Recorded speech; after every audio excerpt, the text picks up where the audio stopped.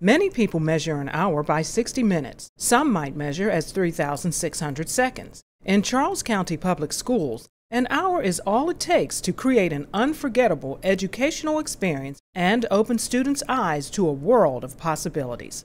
From December 8th through the 13th, students, staff, and even parents participated in a global event designed to show everyone they can program and tell a computer what to do. All it takes is one hour, an hour of code. The great thing about the hour of code is that it did get folks who may not be involved directly with computer science education. It gave them some awareness of what computer science education is and what computational thinking skills are. We want to break this whole notion that, the, that computing is something for others, for something for some other group of people to somehow do, but it's something that we can all do. Computer science is a, an untouched subject, and I think it's a very important subject considering that the world is turning into a technological based world. So I think that this is very important for students to know about and just learn.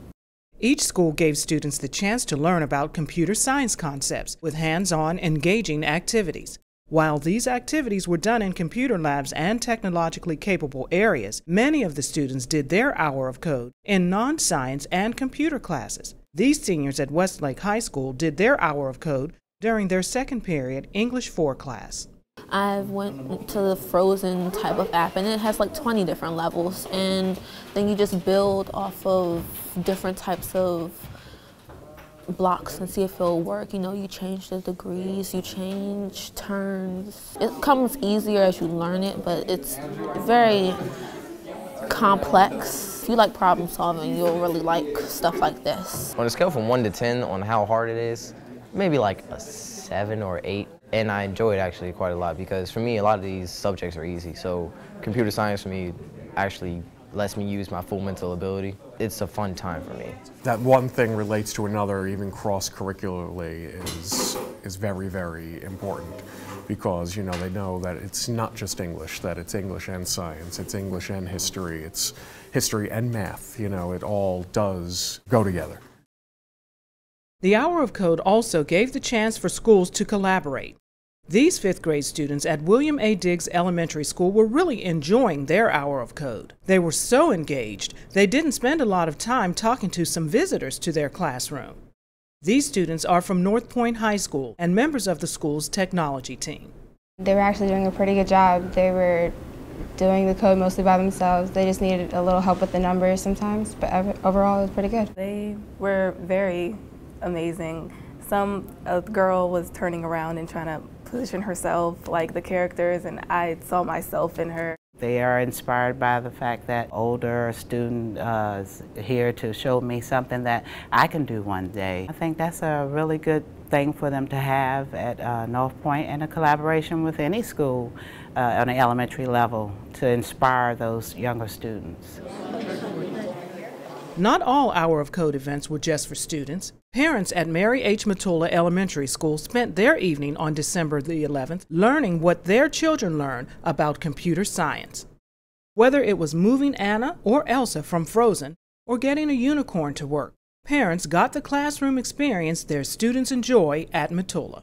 My son was very eager to get here tonight. The computer lab is one of his favorite classes. I think it's great. I mean, computers are our future. The kids are learning amazing things, um, more than what we know as, you know, as the parents. So we're trying to catch up to what they're learning. So I think this is great. It was neat to see they really enjoy it. They're kind of understanding how different pieces fit together. So a lot of it is not just, you know, thinking that something just magically happens or, you know, somebody just puts something together, but there are certain steps that you have to take to, to achieve the final result. Superintendent of Schools Dr. Kimberly Hill paid a visit to several schools during the Hour of Code, but her first trip on December 8th is hard to top. Dr. Hill went to the White House to speak on a panel about the benefits of integrating computer science and its basic concepts into learning for all students. The reaction that I got, and I think the reason that we were invited from Charles County Public Schools, was because of the early entry computer science education that we're committed to. And that really was the piece that was the aha moment, I think, for the audience at the White House was, wow, that really does make sense. To really, if you're gonna be true to really leveling a playing field, you've got to start where kids start. and that's in kindergarten. So to be able to serve on that panel was something that was, was an honor.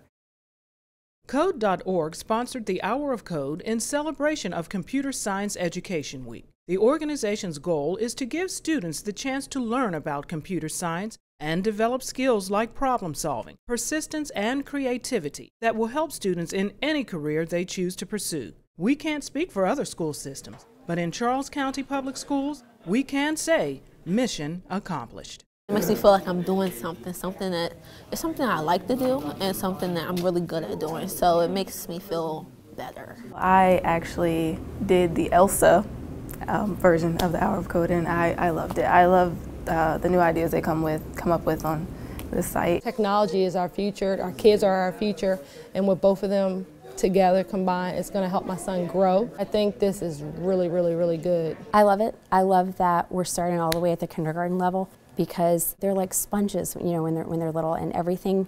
Um, they just absorb so much of it. There's so many wonderful things. We can solve medical problems, we can solve economic problems, we can solve all kinds of difficulties. For the students here to see the impact they're having on others, and for those students to be impacted by people like themselves, I think brings a real power. I was very pleased with the Hour of Code. I think we're on the cutting edge with this, and we want to remain on the cutting edge with this. So the more folks we can bring in, the better. Very good nap. Make it 10. Make it 10. Oh, 10.